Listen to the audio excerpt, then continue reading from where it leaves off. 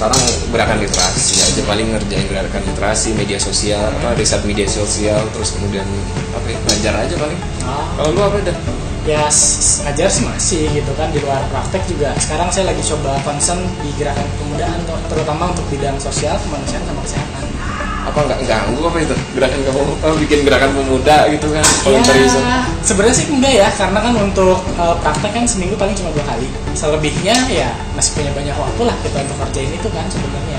Tapi emang penting sih ya apalagi scientist kemudian dokter untuk terjun di ini ya di gerakan pemuda. Iya sepakat. Karena betul lah karena gini lah kita tahu kan bonus demografi Indonesia bakal datang nih di era yang gak lama lagi.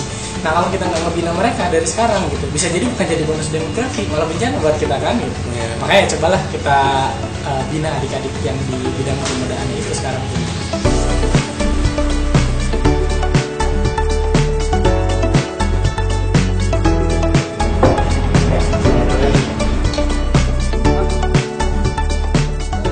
Eh, rosti cheese satu ya kamu makan apa dah Uh, sama deh Rosti tapi uh, yang di blokernya satu ya. oh iya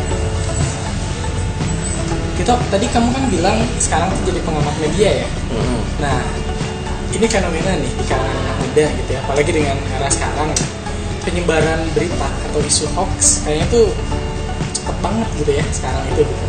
Itu kira-kira kenapa dan kalau buat anak muda nih harus kayak gimana sih buat ngatasin itu? sebenarnya eh, kan era media baru ya semua orang bisa bikin website semua orang bisa bikin akun Facebook akun Facebook media sosial lain gitu. Era di mana banjir informasi itu sesuatu yang nggak bisa ditepis Oke.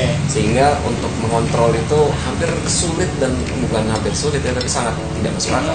Sehingga kalau aku melihatnya harusnya yang dikontrol adalah bukan yang dikontrol yang dibangun adalah filtrasinya Caranya? Ah, ah, lewat lewat eh, gerakan literasi dari si pemuda pemudi Oke. ah, ah, untuk bikin membangun gerakan literasi Oh berarti lebih dikuatkan Ah, gerakan ah. literasinya ya Dan- untuk menyangkal berita-berita hoax itu. Ah, dan aku pikir memang harus dari pemuda pemudi dan mungkin Oke. itu irisan kita berdua Iya ya betul betul. Nanti kita bisa kolaborasi untuk bangun itu berarti ya. Ah,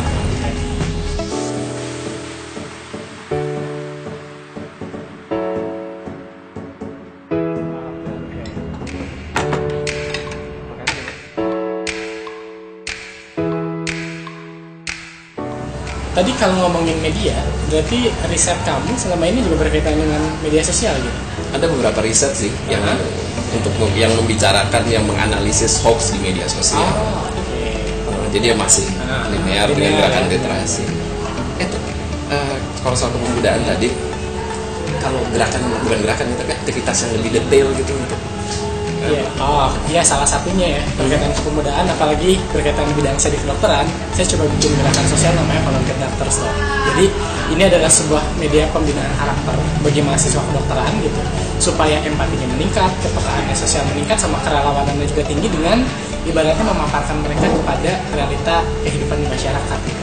Karena kalau kamu tahu sendiri di kedokteran itu pendidikannya kebanyakan kan berkaitan dengan klinis gitu kemudian tentang penyakit, ketemu pasien, nah, tapi kenyataan-kenyataan tentang bahwa di masyarakat masih banyak yang miskin, nggak bisa berobat, masih ada orang-orang sakit yang tidak tertangani kan itu jarang gitu. Seperti itu sih. eh, ngomong-ngomong soal gerakan dan dokter kedokteran gitu. Kemarin aku baca, nah pernah dengar tuh? Guevara, Che Guevara, iya. Ernesto Ini kan dokter juga. Ah, ah, dokter juga. Argentina. Kalau nggak salah dia itu yang bikin gerakan revolusi di Kuba kan. Ah, ah. Tapi saya belum baca detailnya sih. Gitu. Iya, ini menarik Oke. pasti. Bagus juga banget. Nanti bisa saya baca deh sekarang saya lihat lagi pelajari ya. Itu dilihat di luar Hah? hobi otomotif juga Vespa. Ya, aku juga itu. punya Vespa tuh Vespa klasik Ah, dulu. Ah, ah. ya ini- Ikut komunitas. Hobi lah ikut komunitas juga ini juga sama sih. Salah satunya kan anak-anak muda nih yang eh, inisiasinya lah namanya komunitas modern Vespa Bandung. Ya ikut join aja sih buat nyalurin hobi. Sekaligus kan kayak tadi yang saya bilang di tengah-tengah nyalurin hobi saya bisa masuk buat ngebina mereka gitu Wah menarik ya. Ah, Hidupnya ah. integral Iya, semua tentang kepemudaan, Ah, kedokteran. makanya habis ini habis ketemu sama Tito sekarang gitu saya mau ke salah satu daerah di Tanjung Sari mau bawa mereka kita touring ke pedesaan untuk survei di sana mau balai apa ya kayak bakti sosial apa yang bakal kita kerjain jadi ngedorong komunitas dia kelompok pemuda untuk ke arah yang positif lah sambil nyalurin hobi gitu. Ya barangkali lah. bisa boleh boleh. melahirkan gue para gue para baru gitu. Semoga semoga. Iya. Oke deh. Ini nanti mungkin saya pinjam aja ya. Nanti saya bawa dari sini. Masih oke. Kita makan dulu. Karena habis ini kan saya harus pergi lagi. Oh, oke. Ya mari